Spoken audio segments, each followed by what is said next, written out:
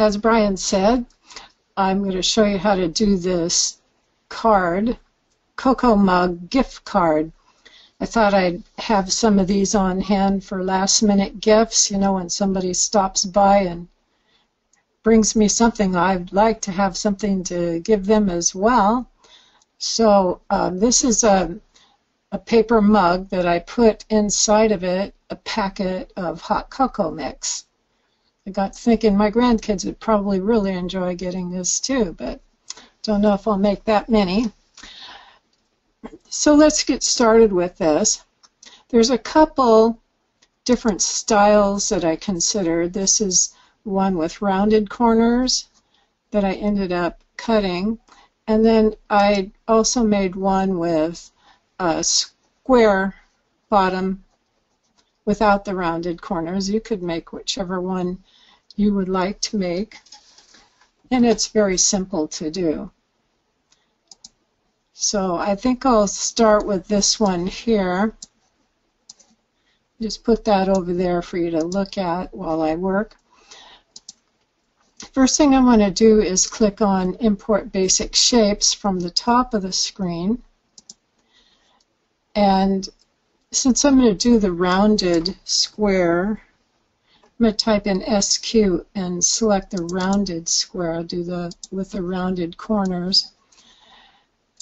And I need to resize this into a rectangle, so I'm going to turn off the lock aspect ratio by clicking on that gold lock to make it green.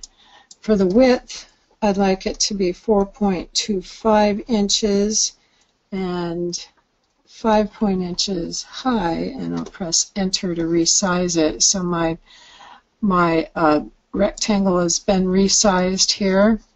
And I think I'll change the color of it. I'll send it to its own layer and change it to a kind of a brown so you can see what I'm doing here I'm going to make another one just like it. So with it selected, I'll hold Control and Shift and click to make another, and then I'll just drag it down here. I can select them both and line them up vertically by typing V. That puts them perfectly vertical. And then I'm going to right click and use align and space, align, go all the way to the bottom to edge bottom. This will put this bottom shape right at the edge of the top. Sometimes it's not quite high enough for welding, so what I'm going to do is tap my up arrow a couple times so that it slightly overlaps, and I can make sure that by going to outline to see that those lines do indeed overlap. So now I have my main card. The next thing I like to do is add um, add a layer for the score lines. So I'm going to click on the Create New Layer, the larger of the two green plus icons at the lower right corner. And I'm going to select this bottom rectangle, hold Control Shift, and just click so that I have another one and send it to the top. Now this one I'm going to just change it to dash line. So when I clicked on the color icon and then select line style, create new line style. So now I have a layer with uh, dash lines and I'll hide that for now. The next thing I want to do is add the handle when I first tried this, I didn't have any idea what I would do to make that handle because I'm not very good at drawing. But I got a brainstorm today to, that looks like half a heart.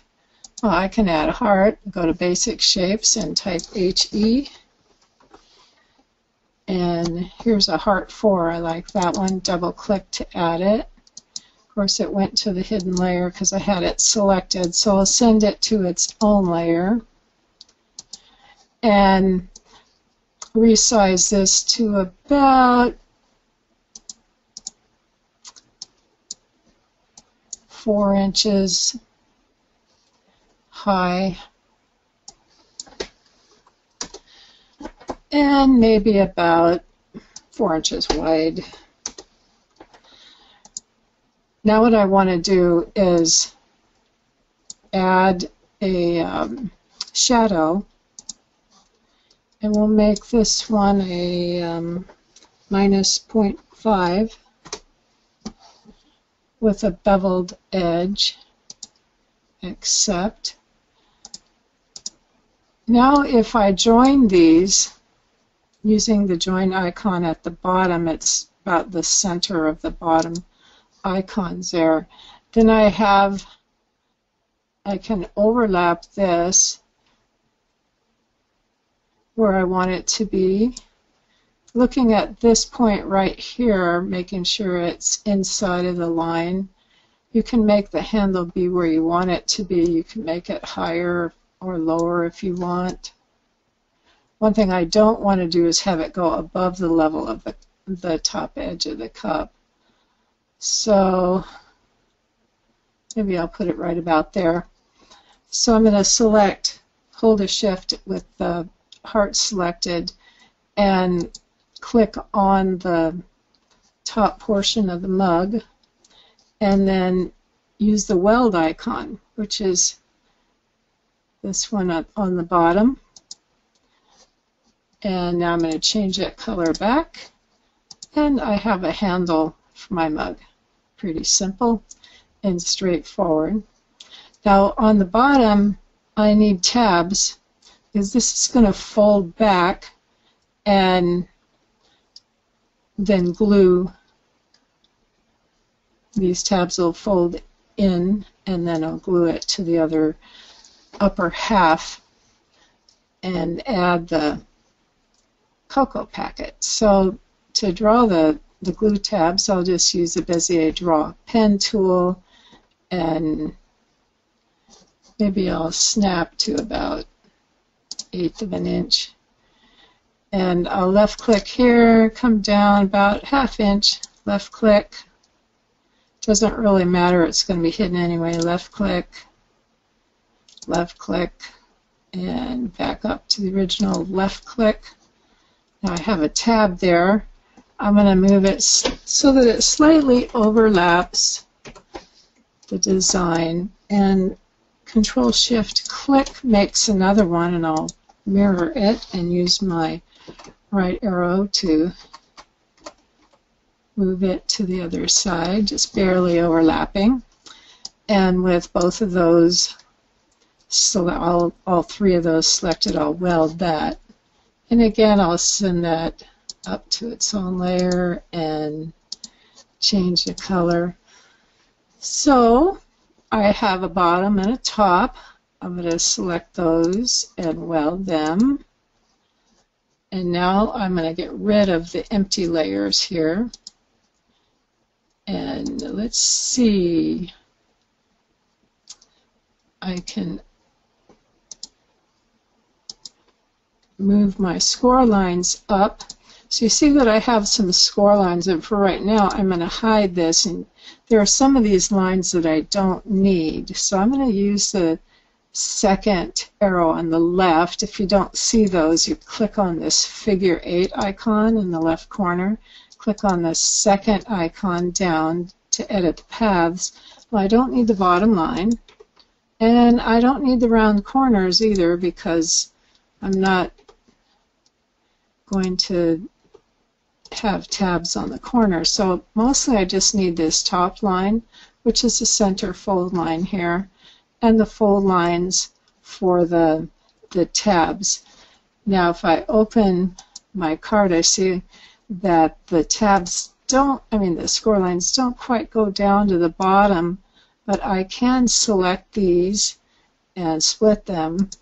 Then I'll just select the ones that I have here and pull them down. I'm going to take off my snapping so I can position them exactly at the bottom of those tabs and then at the top.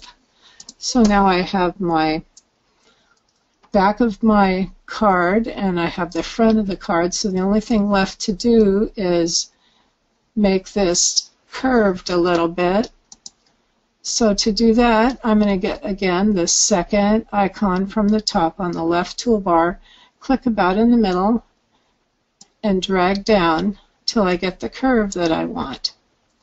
Now I can move this over a little bit if I don't want, as, want it to be quite as big of a curve there.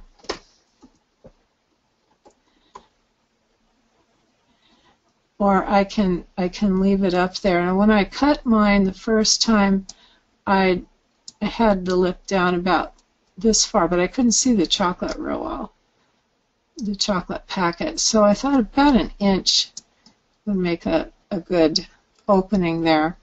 Now this the cocoa packet is about three and a half inches wide, and this cup is four and a quarter, so that gives some room for the thickness of the packet. Now you can change the width of of the top portion if you don't like as big of a, a rounded section here. Um, you can do it a number of ways. I can sometimes just faster for me to delete some of it or even erase some of it. And then I can Let's try a bigger eraser.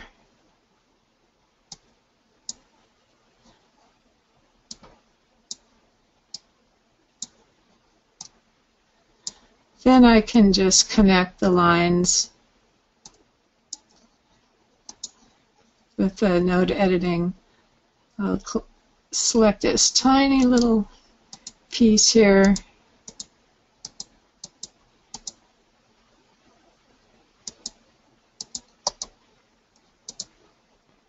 Maybe this one, right click,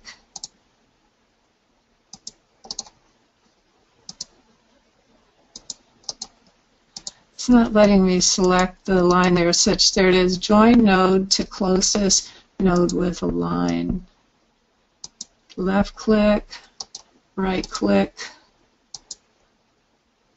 gotta be sure to grab the end one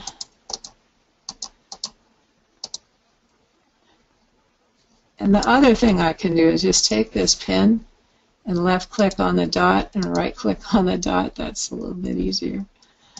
So then I can round out this if I want, or I can leave it this straight and just bend it a little. And it's ready to cut out.